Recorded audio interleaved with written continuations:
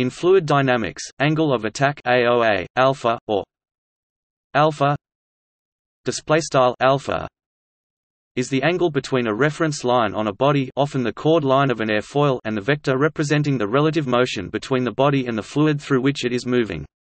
Angle of attack is the angle between the body's reference line and the oncoming flow. This article focuses on the most common application, the angle of attack of a wing or airfoil moving through air. In aerodynamics, angle of attack specifies the angle between the chord line of the wing of a fixed-wing aircraft and the vector representing the relative motion between the aircraft and the atmosphere.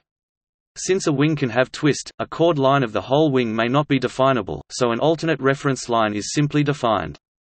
Often, the chord line of the root of the wing is chosen as the reference line. Another choice is to use a horizontal line on the fuselage as the reference line and also as the longitudinal axis. Some authors do not use an arbitrary chord line but use the zero lift axis where, by definition, zero angle of attack corresponds to zero coefficient of lift. Some British authors have used the term angle of incidence instead of angle of attack. However, this can lead to confusion with the term rigger's angle of incidence meaning the angle between the chord of an airfoil and some fixed datum in the airplane.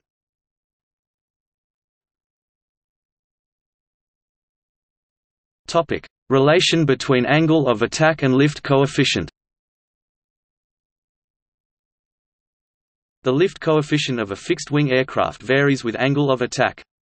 Increasing angle of attack is associated with increasing lift coefficient up to the maximum lift coefficient, after which lift coefficient decreases. As the angle of attack of a fixed-wing aircraft increases, separation of the airflow from the upper surface of the wing becomes more pronounced, leading to a reduction in the rate of increase of the lift coefficient. The figure shows a typical curve for a cambered straight wing. Cambered airfoils are curved such that they generate some lift at small negative angles of attack.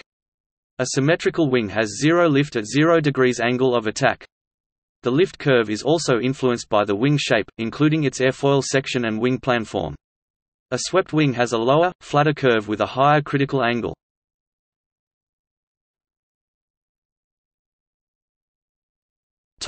Critical angle of attack The critical angle of attack is the angle of attack which produces the maximum lift coefficient. This is also called the stall angle of attack. Below the critical angle of attack, as the angle of attack decreases, the lift coefficient decreases. Conversely, above the critical angle of attack, as the angle of attack increases, the air begins to flow less smoothly over the upper surface of the airfoil and begins to separate from the upper surface. On most airfoil shapes, as the angle of attack increases, the upper surface separation point of the flow moves from the trailing edge towards the leading edge. At the critical angle of attack, upper surface flow is more separated and the airfoil or wing is producing its maximum lift coefficient.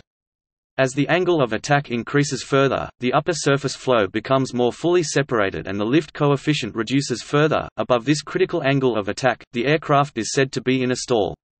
A fixed-wing aircraft by definition is stalled at or above the critical angle of attack rather than at or below a particular airspeed.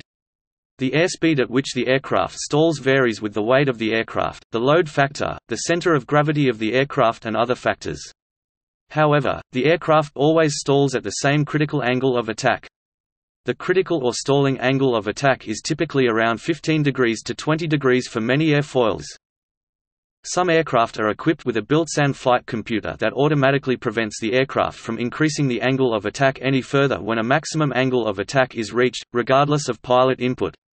This is called the angle of attack limiter or alpha limiter.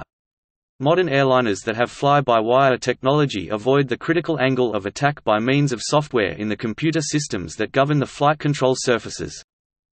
In takeoff and landing operations from short runways STOL, such as naval aircraft carrier operations and STOL backcountry flying, aircraft may be equipped with the angle of attack or lift reserve indicators. These indicators measure the angle of attack AOA or the potential of wing lift POWL, or lift reserve directly and help the pilot fly close to the stalling point with greater precision.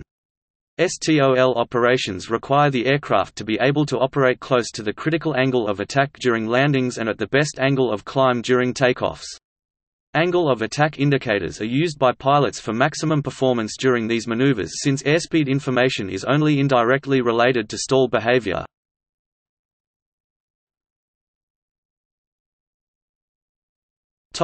Very high alpha.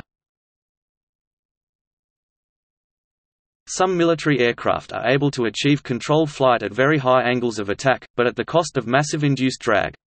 This provides the aircraft with great agility. A famous military example is sometimes thought to be Pugachev's Cobra. Although the aircraft experiences high angles of attack throughout the maneuver, the aircraft is not capable of either aerodynamic directional control or maintaining level flight until the maneuver ends. The Cobra is an example of supermaneuvering as the aircraft's wings are well beyond the critical angle of attack for most of the maneuver. Additional aerodynamic surfaces known as high lift devices including leading-edge wing root extensions allow fighter aircraft much greater flyable true alpha up to over 45 degrees, compared to about 20 degrees for aircraft without these devices. This can be helpful at high altitudes where even slight maneuvering may require high angles of attack due to the low density of air in the upper atmosphere as well as at low speed at low altitude where the margin between level flight AoA and stall AoA is reduced. The high AoA capability of the aircraft provides a buffer for the pilot that makes stalling the airplane which occurs when critical AoA is exceeded more difficult. However, military aircraft usually do not obtain such high alpha in combat, as it robs the aircraft of speed very quickly due to induced drag, and in extreme cases, increased frontal area and parasitic drag. Not only do such maneuvers slow the aircraft down, but they cause significant structural stress at high speed. Modern flight control systems tend to limit a fighter's angle of attack to well below its maximum aerodynamic limit.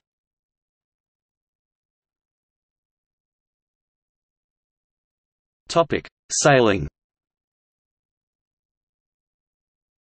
In sailing, the physical principles involved are the same as for aircraft. A sail's angle of attack is the angle between the sail's chord line and the direction of the relative wind.